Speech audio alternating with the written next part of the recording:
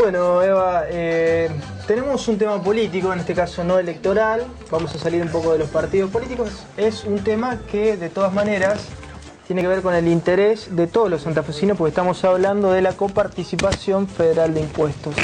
¿Qué es la coparticipación federal de impuestos?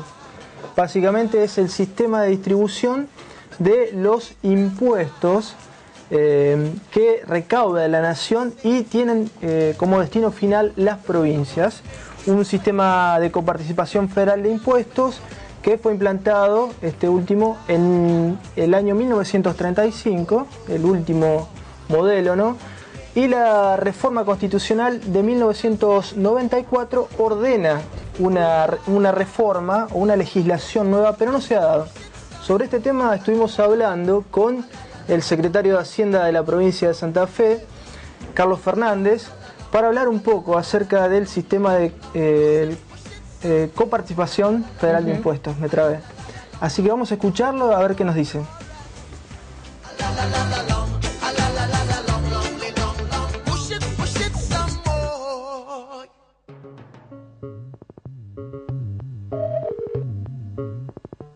Existe una mora constitucional en implementar una nueva ley de coparticipación. Ustedes saben que la Constitución Nacional reformada en 1994 eh, comprometió que antes de la finalización del año 96 debía sancionarse una nueva ley de coparticipación. Es decir, que existe un, retraso significativo en la sanción de una ley que no es sencillo, claro está, eh, resolverlo, ¿no? pero que hay que cumplirlo.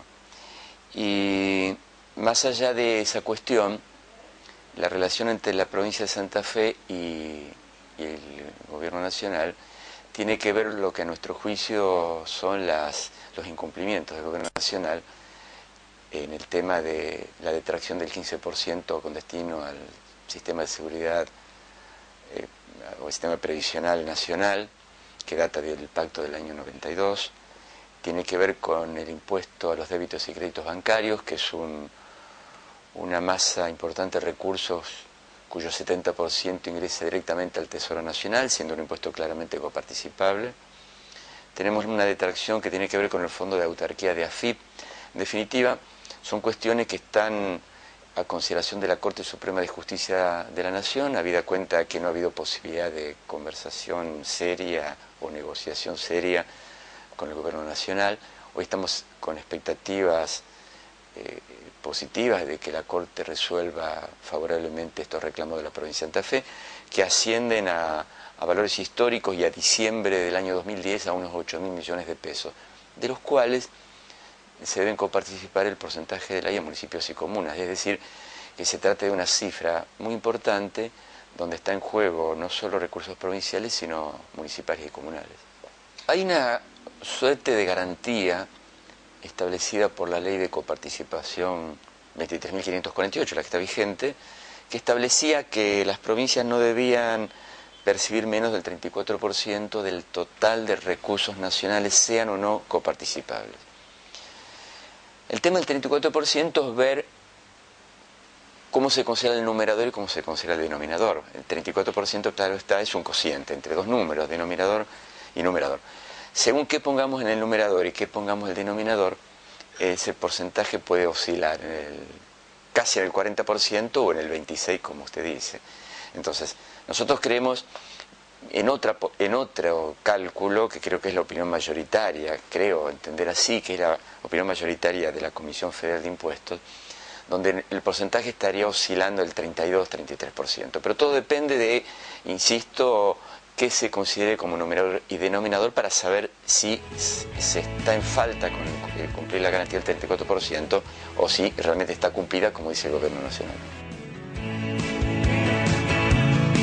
Bueno, en relación a lo que estaba comentando recién Carlos Fernández, el secretario de Hacienda de la provincia de Santa Fe, vamos a hacer un breve raconto hablando de porcentajes, ¿no?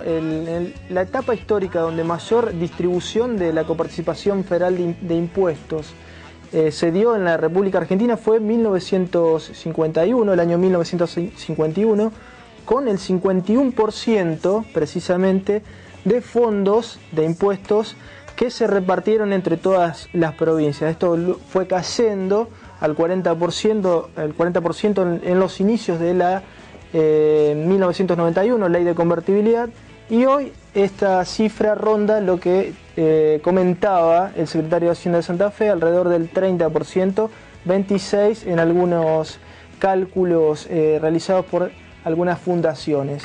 Respecto a este tema hay que decir que la provincia de Santa Fe, tema coparticipación, tema muy importante porque estos dineros son finalmente aplicados a las políticas públicas en la provincia de Santa Fe. Respecto a este tema puntualmente, la provincia de Santa Fe tiene un reclamo ante la Corte Suprema de Justicia de la Nación porque se le sigue descontando el 15% de la masa coparticipable que le corresponde a la provincia de Santa Fe esto es, a valores de 2008 únicamente, alrededor de 1.800 millones de pesos. Es muchísimo dinero que tendría que venir a Santa Fe eh, como contrapartida de este, de este 15% que se le descuenta a la provincia de Santa Fe desde el año 92 por la firma del Pacto Fiscal 1. La eh, nación tendría que eh, financiar el déficit, del déficit de la caja de jubilaciones, pero esto desde el año 2007 no ocurre. Así que por ello la provincia de Santa Fe está reclamando vía judicial eh, la eh, remisión de todos los fondos que hacen a la coparticipación, un tema me parece que es muy importante, que no tiene que ver con un partido político, con un sector político, sino con todos los santafesinos.